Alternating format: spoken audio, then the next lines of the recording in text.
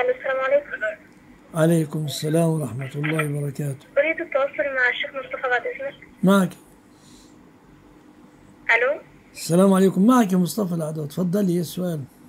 السلام عليكم. بعد إذنك يا شيخ. وعليكم كنت السلام. بسأل عن حكم سفري لو هكمل دراسة في مدينة بعيد عن مدينتي بساعة سفر ساعة.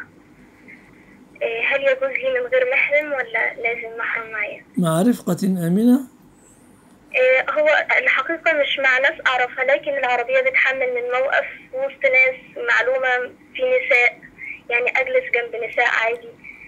ممكن إن لا، شاء. الله ممكن إن شاء الله. ممكن إن شاء الله.